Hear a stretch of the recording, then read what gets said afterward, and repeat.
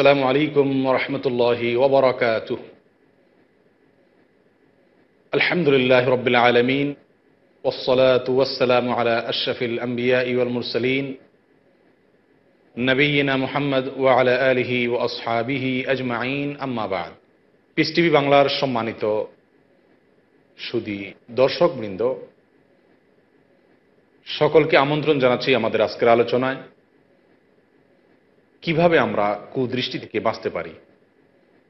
কুদৃষ্টি থেকে বেঁচে থাকার চার পাঁচটি পদ্ধতি, কোরআন এবং সুন্নার আলোকে কুদৃষ্টির ক্ষতি থেকে আমরা কীভাবে রক্ষা পেতে পারি, সে উপায় আমরা আজ আলোচনা করার চেষ্টা করব ইনশা আল্লাহ সম্মানিত দর্শক, পরনার দিকে দৃষ্টিপাত করা, হারাম এবং নিষিদ্ধ জায়গায় দৃষ্টিপাত করা এটি অত্যন্ত নিচু এবং একজন মানুষের পরনার দিকে দৃষ্টিপাত করা এবং এক কথা যেটাকে বদনজর বলা যেতে পারে, আল্লাহ তালা নিষিদ্ধ ক্ষেত্রে নজর দেওয়া, এটি অত্যন্ত নিচু একটি কাজ।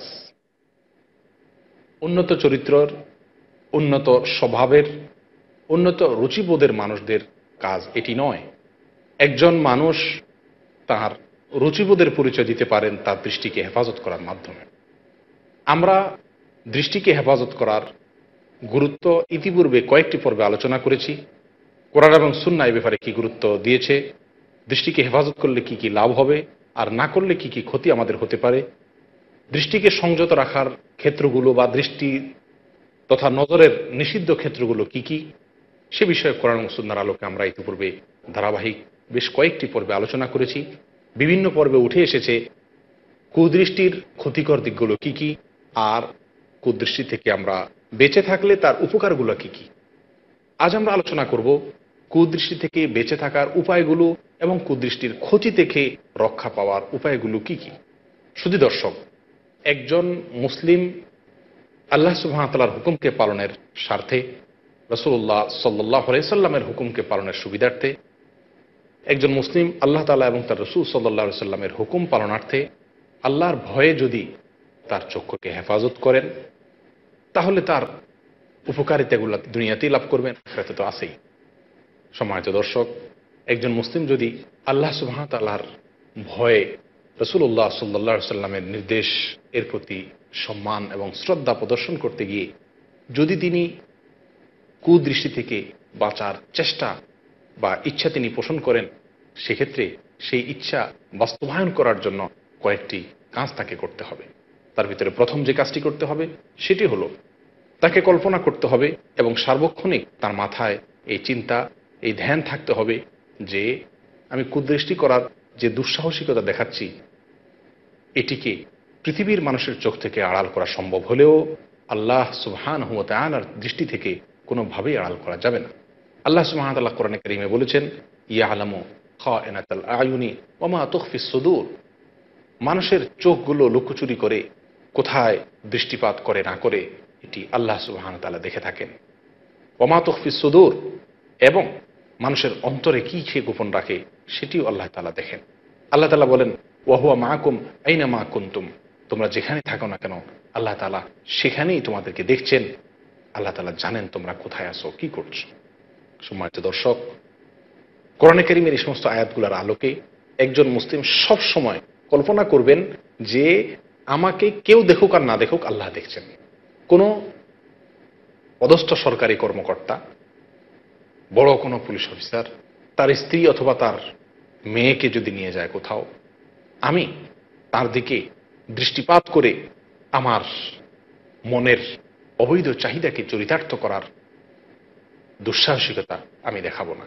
কারণ অন্য দশটি ক্ষেত্রে আমি এই একই অপকর্ম করলেও এক্ষেত্রে কিন্তু আমি চিন্তা করব যে লোকটি সাথে আছে, তিনি অত্যন্ত ক্ষমতাধর ব্যক্তি, তার মেয়ে, তাঁরই স্ত্রী অথবা তাঁরই ছোট বোন, তার সঙ্গে যাচ্ছে।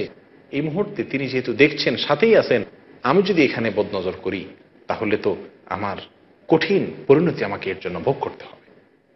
সময় যদি আপনি পৃথিবীর যত পর্নারের দিকে দৃষ্টিপাত করছেন, সেটা টেলিভিশনের পর্দায় হোক, মোবাইল ফোনের স্ক্রিনে হোক, অথবা রাস্তায় হোক, মানুষের সামনে হোক, গোপনে একাকী হোক, আপনি যে হারাম কাজ করছেন, চোখ দিয়ে জেনা করছেন, পৃথিবীর কোনো মানুষ দেখুক আর না দেখুক, আল্লাহ সুবহান তাহলে আপনাকে ঠিকই দেখছেন। আল্লাহর পাকড়াও, আল্লাহর আজাব দুনিয়ার ক্ষমতাধর সেই ব্যক্তির চাইতে অনেক অনেক বেশি সত্য, অনেক বেশি বাস্তব, অনেক বেশি কঠোর। একজন মুসলিম চক্ষুকে হেফাজত করতে হলে, তিনি দৃষ্টিকে হেফাজতে রাখতে হলে সবসময় তার মাথায় এই জিনিসটি কাজ করতে হবে। এই চিন্তা তার মধ্যে থাকতে হবে যে, আমার আল্লাহ আমাকে দেখছেন। আল্লাহ তালা যদি আজ আমার সামনে থাকতেন, আমি কি তার সামনে এই গুণাটি করতে পারতাম? আল্লাহর আজাব আল্লাহর জান্নাত, এগুলোর বাস্তবতা বিশ্বাস করার পরে, এগুলোর বাস্তবতা উপলব্ধি করার পরে একজন মুসলিম কখনো আল্লাহর সামনে এগুলো করতে পারতেন না। ঠিক এই কথাটি চিন্তা করা যে, এখনও তো আমি যে গুনাহাটি করতে যাচ্ছি বা করতে চাইছি, আমার আল্লাহ তো আমাকে ঠিকই দেখছেন। আর আল্লাহ তো বলেছেন মানুষের শ্রবণ শক্তি মানুষের দৃষ্টি শক্তি মানুষের বোধ শক্তি এই সবগুলো সম্পর্কে আল্লাহ তালা কি আমাদের ময়দানে জিজ্ঞাসাবাদ করবেন এবং আমি যা করছি তা লিপিবদ্ধ হচ্ছে, তা সংরক্ষিত হচ্ছে, এর জন্য আমাকে জবাবদিহি করতে হবে। কঠোর কঠোর পরিণতির সম্মুখীন আমাকে হতে হবে। সময়তে শুধু এই কথার ধ্যান করতে থাক। এ পর্যায়ে একটি হাদিস আমরা উল্লেখ করতে পারি। মোস্তাদে আহমদে আসছে, সুনানে তিরমিজিতে আসছে এবং অন্যান্য হাদিসে কিতাবে সুনানে নাসাই সহ আসছে। এই হাদিসটিকে আল্লাহ আলবানী রহমাল্লাহ সহি বলেছেন। হাদিসটি হলো এই যে রসুল্লাহ সাল্লাহ সাল্লামের সাহাবিদের ভিতরে তখনকার যে নিয়ম ছিল, আর্থিক সঙ্গতি না থাকার কারণে পুরুষ এবং মহিলাদের সালাত মসজিদে একসঙ্গেই হতো। সামনের কাতারগুলোতে পুরুষরা দাঁড়াতেন, পিছনের কাতারগুলোতে মহিলারা দাঁড়াতেন। এর ভিতরে আব্দুল ইবিন আব্বাস রদিল্লাহ তানাহ বর্ণিত হাদিসে আসছে যে সাহাবি, মহিলা সাহাবিদের ভিতরে একজন ছিলেন অত্যন্ত সুন্দরী। হয়তো তখনও পর্দার বিধান নাজিল হয় নাই। সেজন্য তিনি নিজেকে ততটা ঢেকে আসতেন না। কারণ ইসলামের প্রথম যুগে একটি পর্যায়ে পর্দার বিধান ছিল না। যাই হোক রসুল্লাহ সাল্লাহ আলহি ওয়াসাল্লামের ওই সাহাবি, মহিলা সাহাবি মসজিদে যখন আসতেন, তো সাহাবিদের ভিতরে যাদের অন্তরে আল্লাহ তালা যা সাহাবা একরাম, তাদের অন্তরে আল্লাহ তালা ভয় ছিল। সাহাবা একরাম সাধারণত কি করতেন? সাহাবা একরাম তাদের অন্তরে আল্লাহ তালা ভয় ছিল। তারা ওই মহিলা যাতে দৃষ্টির আওতায় না পড়ে সেই জন্য তারা সামনের কাতার দিকে চলে যেতেন। একেবারে সামনের কাতার দিকে চলে গেলে মহিলাদের কাতার পিছে আর নজরে আসবে না, দৃষ্টির আওতার বাইরে চলে যাবে। আর কিছু লোক ছিল যারা হয়তো বা বাহ্যিকভাবে মুসলিম বলে পরিচিত সমাজে কিন্তু মুনাফেক ছিল। তারা তাদের কেউ কেউ ইচ্ছাকৃতভাবে পিছের কাতারগুলোতে দাঁড়াতেন। উদ্দেশ্য ছিল রুকুতে এবং সেজদাতে যখন যাবে, তখন ওই সুন্দরী মহিলার দিকে দৃষ্টিপাত করা। এই যে ইসলামের শত্রু তথা মুনাফিকরা, নামাজের মধ্যেও তাদের কপটতা বাহ্যিকভাবে মানুষকে দেখাচ্ছে, তারা নামাজ পড়ছেন আর ভেতরে তারা কপটতা করছেন এই বিষয়ে আল্লাহ সুমাতাল্লাহ কোরআন করিমে আয়াত নাজিল করেছেন ওলাকাদে আলিমদাল মুস্তাকদিমিন আমিনকুম ওলাকাদে আলিমদাল মুস্তাকিন তোমাদের মধ্যে যারা সামনের কাতারে চলে গেছে, তাদের কথাও আল্লাহ তারা জানেন। আল্লাহ বলেন, আমি জানি তাদের কথাও, যারা পিছের কাতারে এসে দাঁড়াচ্ছে কেন দাঁড়িয়েছে সেটাও আমি জানি। অতএব আল্লাহ তাল্লাহ যে সব কিছু দেখছেন, প্রত্যক্ষ করছেন এই কথার ধ্যান, এই কথার কল্পনা যদি আমরা করি ইনশা আল্লাহ আমরা কুদৃষ্টি থেকে হেফাজত থাকতে পারব, আমরা বদনজর থেকে বেঁচে থাকতে পারব। এই কথার কল্পনা সবসময় আমাদের মধ্যে রাখতে হবে। এক, একাকি যখন আমরা গুনাহের কাজ করে থাকি এই যুগে বিশেষ করে মোবাইল ফোন, এর ছড়াছড়ির কারণে চোখের গুণা ইচ্ছাকৃতভাবে মানুষ একাকী, নিঃসঙ্গে যখন মানুষ থাকে, তখন অকপটে মানুষ করতে থাকে, নির্ভয়ে মানুষ করতে থাকে এবং করতে করতে করতে করতে নিজেকে জাহান নামের কিনারে নিয়ে যায়। অনেক ভালো মানুষের জন্য চক্ষুকে হেফাজত করা কঠিন একটি বিষয় হয়ে দাঁড়িয়েছে।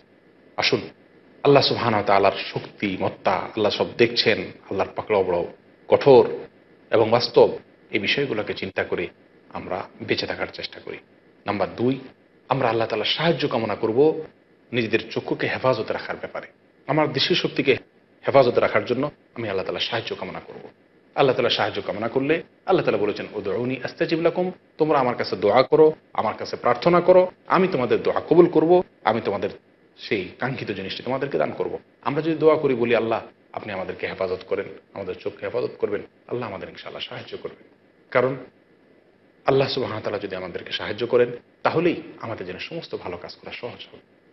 এক্ষেত্রে বিভিন্নভাবে আমরা আল্লাহ কাছে দোয়া করতে পারি, বিশেষ কোনো ভাষায় দোয়া করা কোনো জরুরি নয়। একটা হাদিসে যদিও একটি দোয়া আমাদেরকে শেখানো হয়েছে রসুল্লাহ সাল্লাহ সাল্লাম থেকে বর্ণিত আছে যে উনি বলছেন আল্লাহ তাহের কলবি মিনার নেফাক আল্লাহ আমাদের অন্তরকে নেফাক থেকে পরিচ্ছন্ন করে দিন। ও আমালি মিনার রিয়া এবং আমাদের আমল যেন রিয়া থেকে মুক্ত হয়, সেই তৌফিক দান করেন। সময়তে সুদী। কুদৃষ্টি থেকে বেঁচে থাকার জন্য আর কয়েকটি পদ্ধতি আছে, যেটি আমরা বিরতির পর ইনশাল্লাহ আলোচনা করব। এ পর্যায়ে ছোট্ট একটি বিরতি যাচ্ছি। কেউ দূরে যাবেন না। আশা করি সকলেই সঙ্গে থাকবেন। ইনশাআল্লাহ কুদৃষ্টি সম্পর্কিত বেশ কয়েকটি উপায় এবং নবী রসুলগণের আদর্শ আমরা আলোচনা করব বিরতির পর। আসসালামু আলাইকুম ওরহমতুল্লাহি ওবরাকাত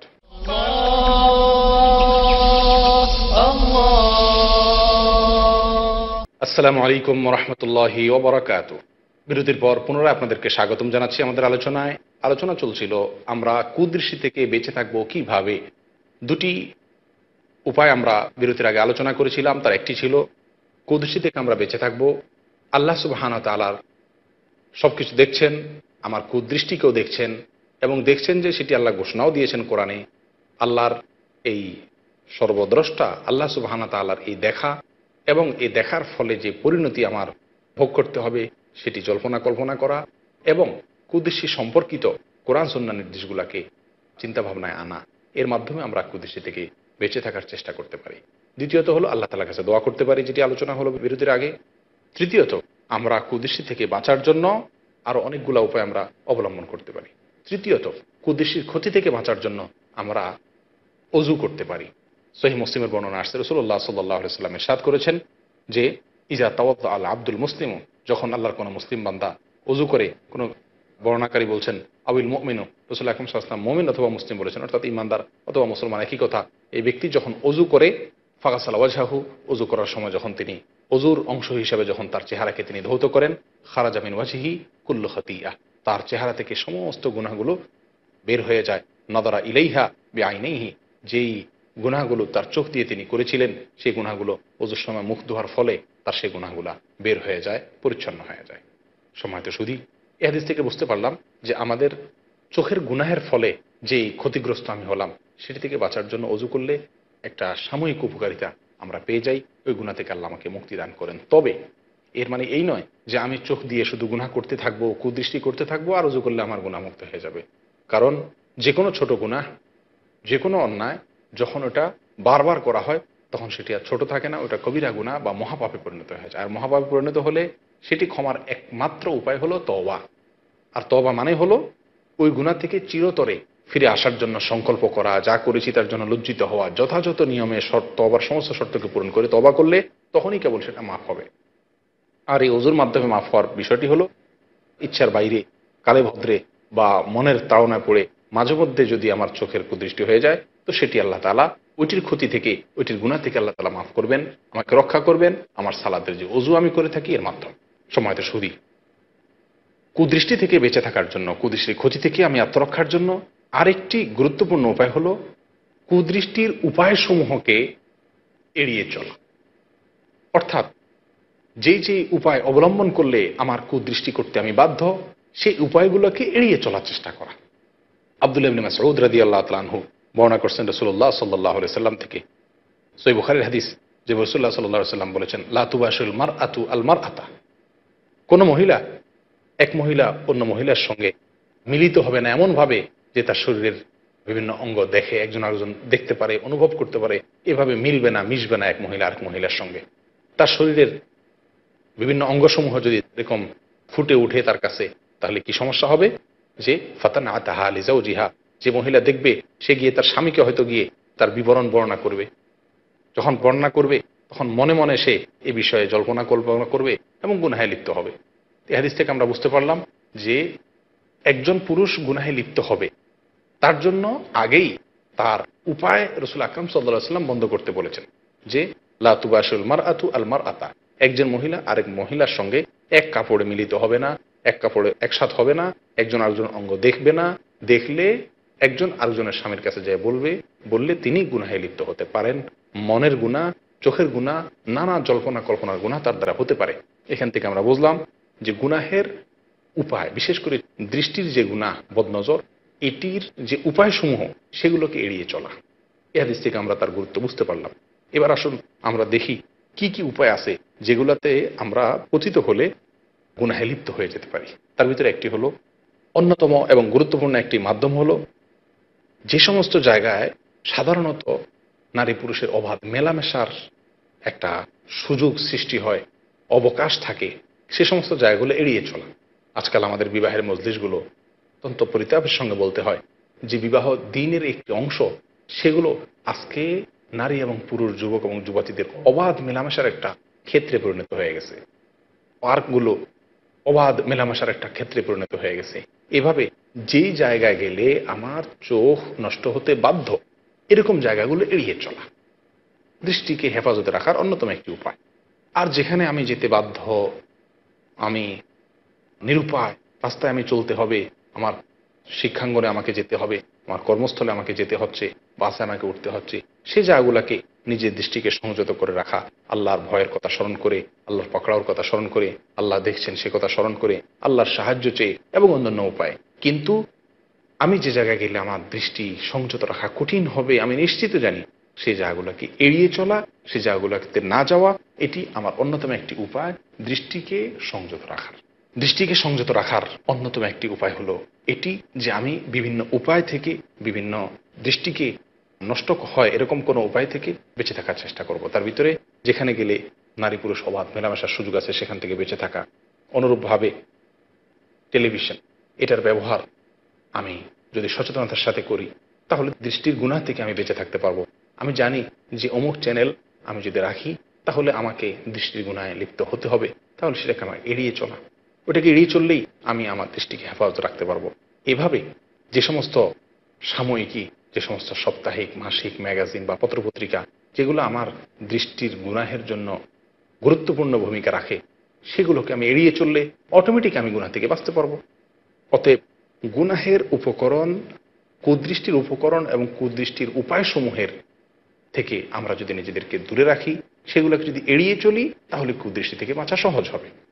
কুদৃষ্টি থেকে বাঁচার আরেকটি উপায় হলো, আমরা সকলে আল্লাহ পাক ইজাদ এর কাছে তবা করব। কারণ শেখুল ইসলাম ইবনু তাইমিয়া রহমতুল্লাহ আলাই বলেন, সুরে নূরের যে আয়াতে আল্লাহ সুহামতাল্লাহ কুদৃষ্টির সম্পর্কে, দৃষ্টিকে সংযত রাখার নির্দেশ করেছেন, নিজের চরিত্রকে হেফাজতের কথা নির্দেশ করেছেন, সেই আয়াতের একটি পর্যায়ে এসে, শেষে এসে আল্লাহ তালা তবার কথাও বলেছেন। তার মানে আমরা কুদৃষ্টি থেকে বাঁচার জন্য যেটুকু কুদৃষ্টি হয়ে যাবে, সঙ্গে সঙ্গে আল্লাহ কাছে তবা করব। তবা করলে হবে কি? আমার নিজের প্রতি নিজের একটা প্রেশার থাকবে যে আমি আল্লাহ কাছে তবা করেছি। এই চাপের কারণে আমি কুদৃষ্টি থেকে বেঁচে থাকা আমার জন্য সহজ হবে। সময়তে শুধু কুদৃষ্টি থেকে বাঁচার জন্য যুগ যুগে সমস্ত নবীগণ, রাসুলগণ, সমস্ত মনীষীগণ চেষ্টা করতেন। রাসুল্লাহ সাল্লাহ আলী ওয়াসাল্লামের এ বিষয়ে সতর্কতা ছিল অপরিসীম। মুসা আলী হিসালাতামের সতর্কতাও কোরআন করিম এ বিষয়ে আল্লাহ তালা ইঙ্গিত করেছেন, যেটি তফসিলি কিতাবগুলোতে বিস্তারিত এসেছে। সুনানে আবুদাউদের ভিতরে আসছে যে আবদুল্লাবনে বসুর রাদি আল্লাহ তালাহ এরশাদ করেন যে রসুল্লাহ সাল্লাহ আলী ওয়াসাল্লাম যখন কারোর বাসায় যেতেন, কারোর সঙ্গে দেখা করতে যেতেন, তো তার দরজার বরাবর তার বাসায় প্রবেশ করতেন না। সাধারণত তার দরজা নক করতে হলে বা দরজা দিয়ে বাসা প্রবেশ করতে হলে তিনি দরজার ডান অথবা বাম যে কোনো এক পার্শ্ব থেকে প্রবেশ করতেন। কারণ দরজা সোজাসুজি প্রবেশ করলে বাসার ভেতরকার কোনো মহিলা, কোনো স্ত্রীলোক হয়তো তার চোখের আওতায় চলে আসবে। দৃষ্টিকে হেফাজতে রাখার জন্য কতটা চেষ্টা করতেন রাসুল্লাহ সাল্লাহ সাল্লাম নিজে। একইভাবে হজরত মুসা আলী হিসালাতাম সম্পর্কে কোরআন করিমে আল্লাহ তালা বর্ণনা করেছেন যে সোহাইব আলাহিসাল্লামের দুই মেয়ে যারা এসছিলেন, তাদের ছাগলকে পানি খাওয়াতে। পানি পান করাতে। সেখানে হজরতে মুসা আলহি সাল্লাতামের মাধ্যমে তারা পানি পান করালেন। মুসা আলাহিসাল্লাম সে ফেরাউন থেকে পালিয়ে এসে এখানে আশ্রয় নিলেন। তিনি দেখছিলেন দুটি মেয়ে পানি পান করাতে পারছে না। রাখালরা সকলে পানি পান করিয়ে চলে গেছে। তিনি হজরত মুসা আলাহি সাল্লাতাম ওই মেয়েদেরকে সহায়তা করে পানি পান করালেন। তারা তাদের বাবার কাছে গিয়ে বলছেন, মুসা আলাহিসাল্লাম সম্পর্কে পরবর্তীতে, ইন্না খায় রহমান জারতা কাল্লা কবিয়ন আমিন। আপনি যাকে কাজের লোক হিসাবে রেখেছেন। তিনি অত্যন্ত শক্তিশালী এবং বিশ্বস্ত। অর্থাৎ তিনি শ্রমিক হিসাবে খুব দক্ষ এবং বিশ্বস্ত একজন আদর্শ শ্রমিকের দুটি গুণই তার ভিতরে বিরাজমান এবং বিদ্যমান। তিনি দক্ষ, এটা বুঝতে পারলেন তারা এই জন্য যে একাই সে পাথরটা যেটি কূপের মুখে ছিল, সেটিকে তিনি সরিয়ে তাদেরকে পানি পান করানোর ক্ষেত্রে সাহায্য করেছেন, আবার একাই সেটাকে রেখেছেন। এতে তার শক্তি, মত্তা বোঝা গেল, দক্ষতা বোঝা গেছে তিনি কাজ করতে পারেন। আর তার আমানতদারিতা তাহার বিশ্বস্ততা, এটা কীভাবে বুঝলেন? তাফসিরে তাবারিতে আসছে। মেয়েরা তার বাবার কাছে বললেন যে, তিনি মুসা আলাহিসাল্লাম এই যে আমাদের একটু উপকার করলেন এই সময়কালে আমরা দুই যুবতী মেয়ে, দুই বোন, আমাদের দিকে দৃষ্টিপাত করেন নেই, নিজের দৃষ্টিকে হেফাজত করেছেন, এখান থেকে আমরা বুঝতে পারলাম লোকটি ভালো এবং বিশ্বস্ত। এমনকি কোনো কোনো বর্ণা আসছে যে, যখন সোহাব ইসলামের মেয়েরা তার বাবার কাছে নিয়ে যাচ্ছিলেন মুসা আলাহিসাল্লামকে তাদের উপকার করার পরে তখন মুসা আলাহিসাল্লাম এর সামনে দিয়ে মেয়েরা যাচ্ছিল। মুসা আলাহিসাল্লাম তাদেরকে বললেন, তোমরা পিছনে আসো। মেয়েরা সামনে দিয়ে যাচ্ছিল এই জন্য যে তারা পথ প্রদর্শন করছিল।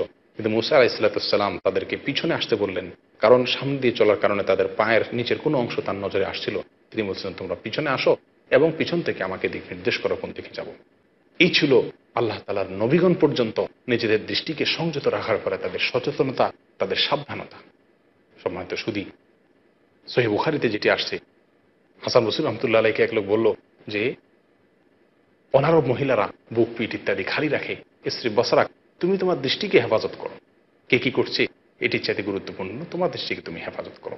সম্মানিত সুদী, অতএব আম্বে একরাম আলিম সালাম পর্যন্ত যে বিষয়ে গুরুত্ব আরোপ করেছেন, ইসলামের ইতিহাসের পূর্বসূরি মহামনসীগঞ্জ বিষয়ে খুব সিরিয়াস ছিলেন, যেই চক্ষুর হেফাজত না করার কারণে বহুত বড় বড় আবেদ, আবাদত গুজার মানুষও কুদৃষ্টির কারণে করোনারির প্রেমে, মোহে, পড়ে নিজের গোটা জীবনকে ধ্বংস করেছেন কত সংসার ছারখার হয়েছে, কত পিতামাতার অবাধ্যতা শিকার হয়েছে, কত সন্তান, কত ঘর ভেঙেছে। এসব অন্যায়গুলোর মূলে ছিল কুদৃষ্টি। আসুন কুদৃষ্টি থেকে বাঁচার জন্য আল্লাহর শক্তিমত্তার কথা চিন্তা করে, আল্লাহর পাকড়াওয়ার কথা চিন্তা করে, বেঁচে থাকার চেষ্টা করি, দোয়া করি। কখনো কালে বদ্রে হয়ে গেলে উজুর মাধ্যমে কুদৃষ্টির খোঁজে থেকে বাঁচার চেষ্টা করি এবং আমরা সকলেই কুদৃষ্টির ব্যাপারে তবা করি আল্লাহর কাছে। যখনই কুদৃষ্টি হয়ে যাবে, সঙ্গে সঙ্গে তবা করি এবং কুদৃষ্টি হতে পারে এরকম জায়গাগুলোকে এড়িয়ে চলার চেষ্টা করি, তাহলে ইনশাল্লাহ কুদৃষ্টি থেকে বাঁচা সহজ হবে। আল্লাহ সুবাহ আমাদের সকলকে তাহার অন্যতম একটি বিধান পালন করার তৌফিক দান করেন দৃষ্টিকে হেফাজত করে। আল্লাহ তালা আমাদের সকলকে দৃষ্টিকে হেফাজত করার মাধ্যমে তার গুরুত্বপূর্ণ একটি বিধানকে পালন করার তৌফিক দান করেন এবং এই যুগের সবচাইতে বড় অপরাধ, এই যুগের সবচাইতে বেশি যে অপরাধটি মানুষ করে থাকে, যে অপরাধটি আজকে মহামারীর মতো হয়ে গেছে, সেই কুদৃষ্টির অপরাধ থেকে আল্লাহ সুবাহ আল্লাহ রক্ষা না করলে আমাদের জন্য রক্ষা পাওয়া খুবই কঠিন। এই পরিস্থিতিতে আল্লাহ তালা আমাদের সকলকে একান্ত করুণা এবং রহমতে সকলকে পুত পবিত্র জীবন দান করুন, কুদৃষ্টি থেকে হেফাজত থাকার তৌফিক দান করুন। এই দোহা আল্লাহ সুহামতাল্লাহ কাছে ব্যক্ত করে আজকের মতো আপনাদের কাছ থেকে বিদায় আরজ করছি। সুহানাকাল্লাহমদিকা আশহাদু আল্লাহ ইলাহ ইল্লা আনতা আতুবু ইলাইক। আসসালামু আলাইকুম রাহমাতুল্লাহি Allah